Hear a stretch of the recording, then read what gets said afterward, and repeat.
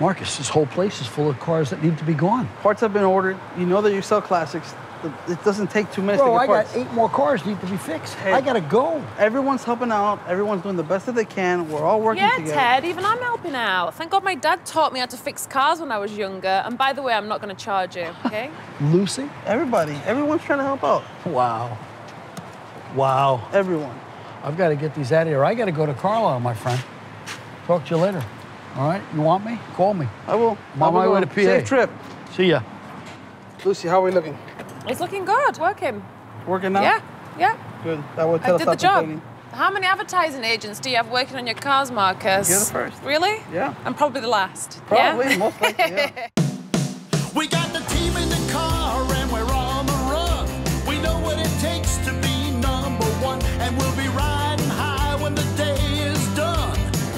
just out here having fun. I've been buying, selling, and trading classic cars for over 40 years. Sometimes you win and sometimes you lose. You could call it work, but for my team, it's a whole lot more. I'm Ted Vernon, and this is my place, South Beach Classics.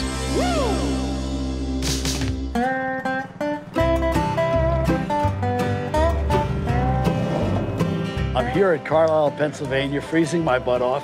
I dressed in my Miami clothing, thinking it was warm, and it ain't warm. It said 65, but they didn't say it was like sleeting.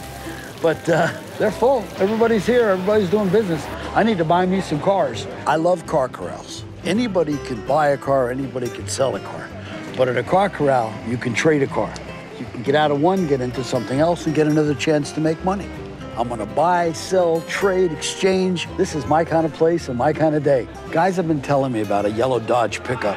It's a B100 with a Pilot House cab, which is a taller cab, five window, rare truck. And here I found it. Now, if the guy is not insane, I wanna buy it. I brought a 1949 Dodge Pilot House Cab B100 pickup truck. It was a complete restoration, done from frame up, rotisserie, sandblasted down to bare metal, and started from scratch. Hey, Dan, Ted Vernon, South Beach Classics. How you Ted, how are you? Everyone's talking about the B100. It's a beautiful truck, Ted. Yeah, I've been looking for it. It is gorgeous. Thank you. It's got a Pilot House cab, which has the extended height and uh, corner window, so it's a five window, 1949. You don't see too many of these around. No, you don't. You see Fords and Chevys, you don't see a whole lot of these. No, you don't see a lot of Dodge. Ford and Chevy, very easy to get parts. And you got the original six. Yep, it's been rebuilt. Transmission's been rebuilt. Uh, the whole uh, drivetrain, suspension, brakes. Everything in here is just amazing and clean. We have total nut and bolt restoration. I own a company called Rogo Fastener Company, and we distribute every nut and bolt that holds an automobile together. Right now, I'm doing a Mustang, a 65, 65 Mustang. and I'm missing everything. All the things, all the bolts and the nuts for the trunk and for this and for the door. hold the fenders on, All hold of the it. door hinges, Yeah, all that. yeah, yeah. We actually have a complete kit that you could purchase from the mid 60s to the early 70s for Ford, GM, and Chrysler. Just about every muscle car that's out there. And this complete kit will help you assemble that whole car, the whole body. I need one right now. Mike, uh, this is Ted. Hi, Ted. I'm Mike. Nice Mike, to meet nice you. to meet you. Mike has a 65 Mustang kit here right, right now Yeah, I that we're going to be uh, dropping off to a customer shortly. This here is for bumper guards. It's all pre-marked, pre-labeled. Every single thing you need. Everything's broken down. It's Every washer, nut, bolt, cotter pin that you would need to put that car back together, Ted. You have a customer for it. You're gonna need another one. This is I will- mine. It's yours. Okay. I'll get him another one. Okay. Can I buy your truck now? Very impressed by Dan. He knows his stuff. His product looks amazing. It's everything you need. I bought the kit for the Mustang, and now I would like to buy the Dodge truck. I wouldn't go no higher than 18,000. There's nothing left. For the truck, I'm asking 35000 I think he's probably going to be looking to get it at a really, really low price, and I don't know if I'd be willing to go um, much below the 30, if at all. It has to be a win-win situation for everybody. Dan, I really like your truck. 35000 it could be all yours. Listen, I do this for a living. I buy to sell. I have to buy it at my price wholesale and then try to retail it. For me to be able to make a buck, I'd love to be in it for 15 grand. Oh, 15. That I'm not buying hard. it to keep it. I'm going to turn it. I'd be willing to go to 30, and there's much more than that, as you know, in, in into this into the cost. That's Sure. why I don't restore. I would hold on to it instead of selling it at that price. Then I have to just let it go at this. But I would like to get involved with you with the Rogo fasteners. This is an amazing kit. I've not seen anything like it. We would love to come down to Miami, set up a nice system for you, and make your shop a lot more productive. If you can do it, I'm in. Okay, very good. Great. Appreciate it. Thank you. Great. Please don't forget. No, we won't. We'll Well, get right on it. Taking my kit and I'm running. Okay. Thank you. You're welcome. Ted and I couldn't put a deal together on the truck, but he became a customer of Rogo Fastener Company today, and I know that's going to help him run his shop more efficiently and put more profits in his pocket. When you buy an old car, there's always something missing. And with this fastener kit that he's gonna set up for me, I'm probably gonna be able to handle every single little thing I, I need. You know, I didn't get to buy Dan's truck, but I still feel like I won because of the contact I made and how this is gonna work out for me. So it's a win.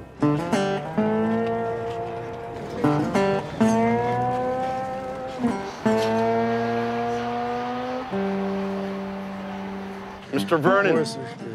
Hey, Tim's Mark Timmy, Carlisle. what's How you going doing, on, buddy? brother? Good to you see you up Good to see north. you. It looks Yeah. like you didn't dress for the weather, brother. I am Yeah. freezing. I am might have a heart attack and die any minute. I'll find you something to warm up with. Hey, it's great that you're here. We have three different segments of the event. One of them is the Carlisle Auctions, which is held over at the Expo Center, one of the fastest growing auctions in the, the country right now. The Car Corral, which is always at least 13 to 1,800 cars. The swap area, it's buying and selling of parts. You can sell reproduction parts, used parts, memorabilia. The vendor or the swap area is the backbone of Carlisle and has been since the beginning and helped us in our growth to this date. I saw Ted at the swap. I got really excited when I saw him out here meandering around looking for some parts or collectibles, whatever it may be. This is a city. Look, at 82 acres stuffed. and I haven't been to this part of the in Pennsylvania. I haven't been here before. There's probably 6,200 spaces of uh, swap area, and all these guys are expert in their own little world of turning a dollar and making a buck. This flipping and stuff is great. It's fun. It is. Yeah. Fantastic. Every year I bring my kids down here. They're learning about the market and have the passion. They constantly work between the dealers, flipping product Excuse me, Dad, I need money. right there. What are you doing? I give him the 20 to 300 challenge every show. I give him 20 bucks. He goes out and makes as much money as he can. Buys something, flips it, and done, done, done, done, and makes that money. That's exactly Sounds right. interesting. I could Yeah. do If that. you think you can do it, Against an 11 year old? Yeah. yeah, I think I can do it. I think you can beat him. Of course. Okay. So we're going to have a contest between me and Anthony who comes back with the most money. You bet. You All bet. right, I'm in. You in? Yep.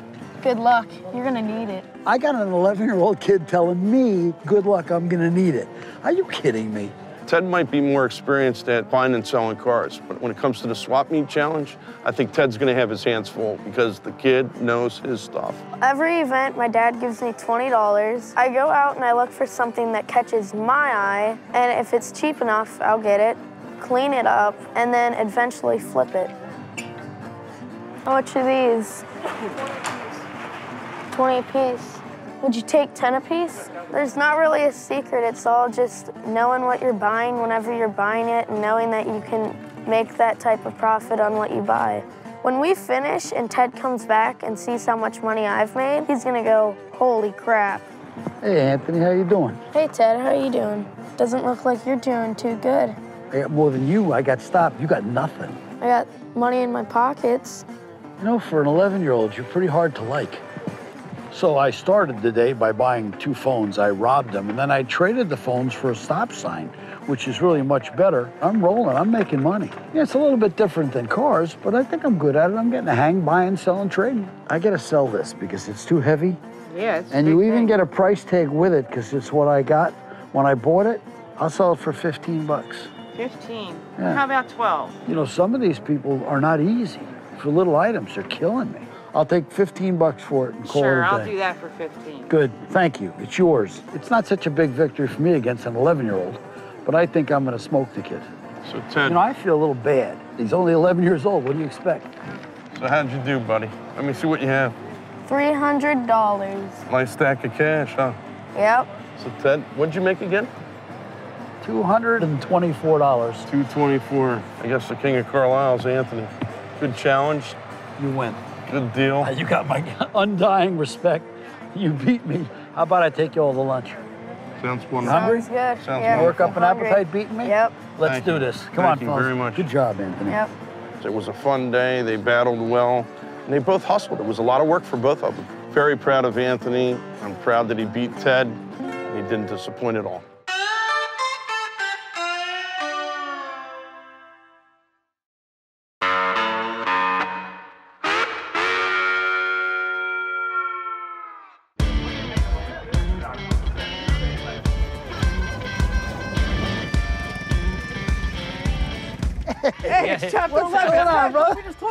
You, man. Good to see you. Good to see you. How's Doing all everything? right? I'm doing good. I'm doing good. I got a couple guys here. Yeah, Larry from Mass Chapter 4. Larry, nice Yeah. to meet you. Ralph, president. The man. He's the boss. We got to show you something. Show me something. Look at this. That's so cool. It's nice to have people like the embalmers that are looking out for you. They had stickers for me, shirts for me. I mean, they're ready. They're always coming up with something. As the Embalmers Car Club, we travel the country. We go to car events, car shows. We bring our family, our friends, and we hang out and have a really good time. Meeting Ted has made a big difference because he's like us. It's all about the cars. It always has been around the cars. The Embalmers brought two special cars to Carlisle. We brought um, Polish Princess car. It's a 1929 Ford he built himself. And we also brought a 1959 Apache pickup truck that our club did build in New York. And that's what it is being in a car club, is working together and getting things done. And it's just real special to have a car club and a car family. It's a lot of fun. Fellas, I gotta go. Really good seeing you all. Nice meeting y'all. I'm out of here. Dinner tonight? That'd be great. Take care, Ted. Take care. See you later. Bye, guys. Bye. Hey, Ted Vernon. Ted, Steve Montag. Nice to meet you. See, my first car, Is that right? but I won't burden you with a first car story. yeah, these are great cars. They are, they're fun. Today I brought a 1960 Nash Metropolitan. Nash Metropolitan started a kind of a revolution for the small car market. Back in the 50s, the cars were big and pretentious, and Nash had an idea to create a small, economical car. It's an inexpensive car. You can drive anywhere, go to any car show, and it'll just be a magnet. Good solid trunk in it. Yeah, the trunk is solid. The whole car is. It's a Texas car. I got a Texas title with it. Body's rock solid on it. Motor's good. Motor's real good. Original yep. British motor and all. Yep, Austin motor. yeah. Gotcha. It's got four brand new tires on it. The brakes are new. Everything works. Like even the uh, cigarette lighter in the car works. I'm real interested in the car. Well, it can be yours for sure. It's here to sell. Let's talk money. I know Ted's a real buyer. I wanted to be somewhere in the mid six thousand dollar range. I really, probably six thousand is about the, the lowest I'll, I'll go. I would consider a trade because I'm into collector cars. I have I have a few, and I, I would consider something else. I do also have another vehicle here to, to sell. The reason I want this car is it's solid, straight, it's nice, it's not restored. Just a good sound original car. The gentleman's got the car priced at $7,900. You know, for me to make money, I gotta be in this car for three, four grand. Five would murder it. Steve, I wanna buy your car. So let's not make this a project. All You right. know, how much can I pay you for your $4,000 car? I got seventy nine ninety five on it. I, I was kind of bent on seventy five, but I'll take seven grand for the car. That does not work for me. I have to ship this back to Florida. It's expensive to ship it. I mean, I, 4,500? I'm done. Ford, no, no, no way. You said one thing to me, Ted. You said this was your first car. Now, I don't know how old you are, but the average lifespan for a male is what, 72 years? And what do you got left? About that much of it? You're killing me. Spend the money. Spend the money, enjoy the car. Are you a funeral director or something like recapture, no. Recapture Wow. your youth with this car. Look at it. I want to buy the car. Okay. We're a little bit apart. We are. We're, we're getting close, but it, Uh, have you got anything else to lump with it? You bring anything else with you? Maybe there's some other deal I can do? you know what I do? Are you into motorcycles at all? Harleys and Indians are about all I buy. You want to check it out? It's a nice bike. Come take a look at this thing. I mean, it's a it's a nice two-owner bike. It's a numbered bike. I think it's 2540 out of 3500. It's anniversary edition. Got the laced wheels, the wide whites. Runs as good as it looks. I'll do 12 grand for the pair. You're not giving me room to make a living. I have to ship this. It costs the same as a car. I got to ship that. Let me tell you what I'll do. I'll give you 10 grand. I am done. I'm done. $10,000 cash, I'll shake your hand. I'm not even cranking the damn thing. 10 grand, we're done. I'm, I'm done. Yeah, I know, I know. Well, you're not really uh, uh, I- I- emotionally attached to that no, car I'm, like no, I thought I'm, you I'm were. huh? emotionally attached to my 10 grand, but I'm going to give it to you if you want it done. You know what, Ted? Let's do it. I think, I mean, thank you, God. I got something done. And thanks for not raining this minute. but I hope you enjoy that car. It's a nice car. This is a great bike. There Thank you go. Thank you very much. Thank Great you. deal, man. Thanks Done. a lot. You know, with the package deal, I'm very happy because I basically moved two vehicles to one person. The hauling and the, the advertising and the dealing is over. I got 5000 for the car and 5000 for the bike. I like to think of it more like I got 6500 for the car and 3500 for the bike. It's been raining the whole weekend, and I walked in the pavilion just by luck, and I wound up doing the deal. I hadn't been able to do much until then. I walked in, and boom, done. So that's it's good. Worked out.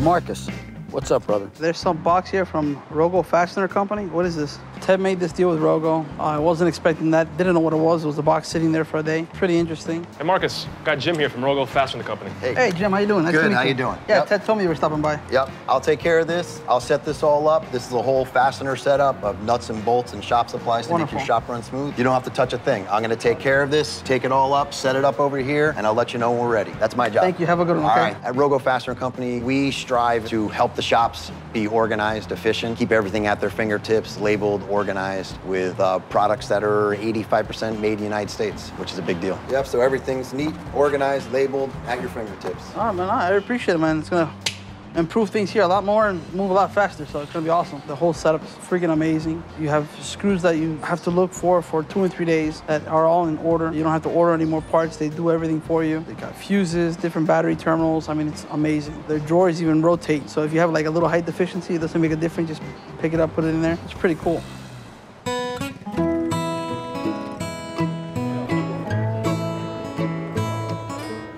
Pretty car, young man. Oh, thank you. Run as good as it looks? Yes, sir.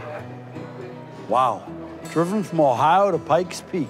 Did you do that? Not me, the previous owner did. Can I open this up? Sure, go ahead. Today, I'm trying to sell some cars. I brought this 1934 Chevrolet. I purchased from very good friends of mine. They're up there in age now, and it was just time for them to sell it. I've known the history of this car since 1969. Mike is a dealer, but he said he just got the car, but that it had been the same family for quite a while and the guy took good care of it. That's obvious. I'm interested in this car.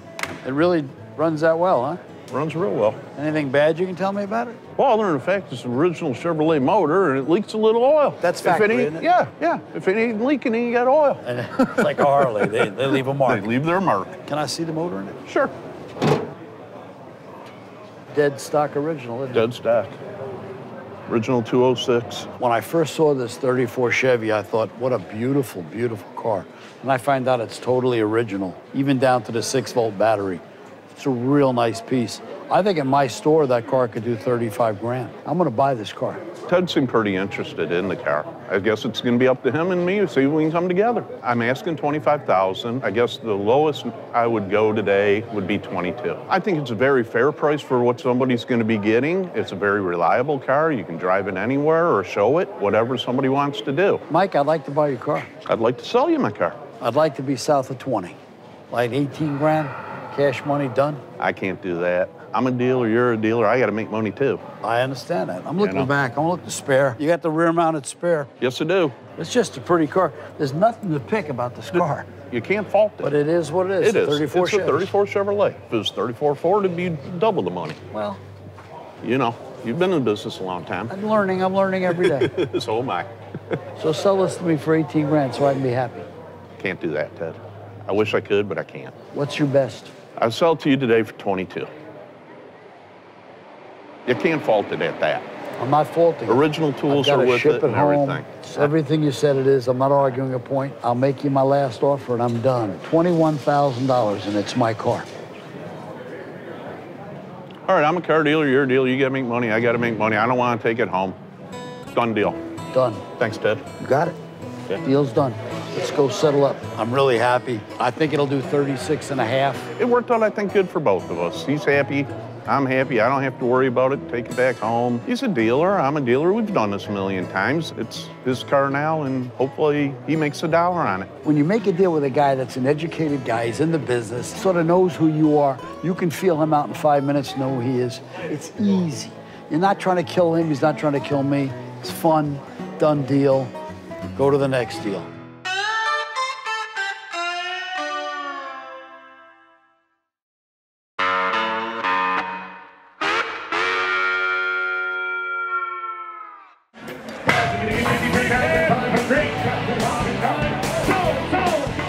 Coming to Carlisle, either here or Florida. Love the auctions. I like the people. They're very professional. These cars are beautiful. Really better and better. They keep getting better cars. The 67 Chevelle went through was a big block matching numbers car that was immaculate. And I bid $53,000, which was about three grand more than I wanted to bid. I got carried away because it was so nice. So I stopped.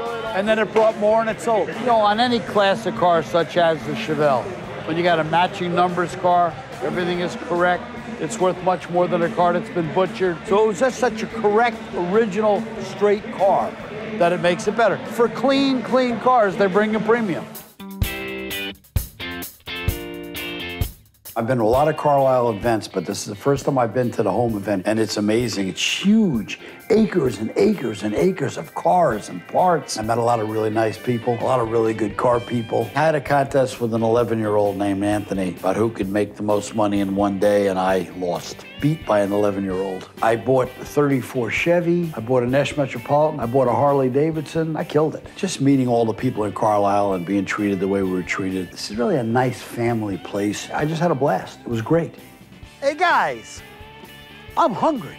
You're hungry? Yeah, I'm really hungry. Real quick, how'd you do today? I bought a few cars, I bought a few things. It's all good. I had a blast. It was a good trip? Good trip. Okay. Yeah. Let's go to dinner. That's what I just said. I'm hungry. All right, we got the club truck here. You did well, I'm ready. but we got a problem. Gotta wear the club hat. Gotta wear the club hat. President's with us. That's not a problem. That's an honor. Let's go. Let's go. I'm gonna bomber. Chapter 11, brother. Go ahead. I hang out the window. It was a little wet, but it was a great weekend. And now, what better way to end it? I'm gonna go to dinner with my buddies, me and bombers. Give it a good tug on that door, will you? I've done this a couple times. Good to go. After a weekend of buying cars and trading cars, it's really good to sit down and have a few laughs and have dinner. It's gonna be a good night. I'm hungry, man. Let's do this.